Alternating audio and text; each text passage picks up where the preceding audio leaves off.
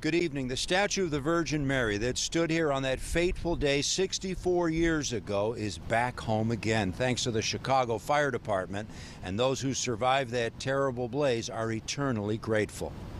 We have to honor our classmates and our sisters that lost their lives.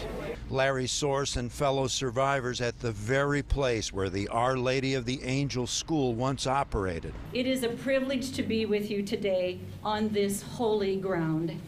This sacred place where so many perished, now housing the mission of Our Lady of the Angels, serving thousands of needy families a year, with the Blessed Mother statue once again greeting visitors when they step in the door at 3814 West Iowa. Pulls at the heartstrings. Let's put it simply. Pulls at the heartstrings. I've only cried. Uh, I got here at 9:30 this morning. Uh, I've only cried probably about a dozen times so far. Members of the Chicago Fire Department who moved the sacred statue to the Church of the Holy Family on Roosevelt back in 99 after it fell in disrepair on the move again, bringing the statue of Mary back to West Humboldt Park. Firefighter escorts carefully delivering the fragile 300 pound Italian marble statue back to where she belongs.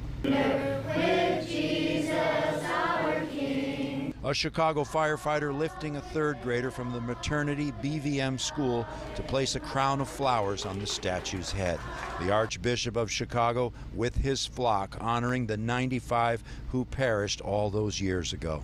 Brothers and sisters, welcome to all of you here. We've gathered today to welcome this statue of Mary back home. The Sisters of Charity of the Blessed Virgin Mary Religious Order doing good works here in this community, working with families in need as well as providing food pantry services for the community.